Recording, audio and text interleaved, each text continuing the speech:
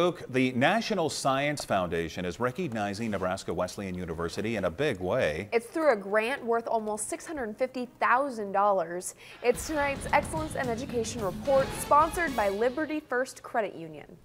The sciences are a hallmark at Nebraska Wesleyan and have been for decades, so we're happy to be able to continue that. Almost half of Nebraska Wesleyan students are majoring in STEM-related fields. The grant will help incoming stu students with scholarships for years to come. The university hopes it will draw in even more science students.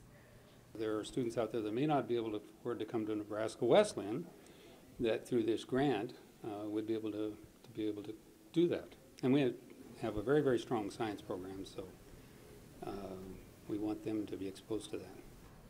The university is accepting applications for STEM scholarships for the fall. It also started construction for their new science center.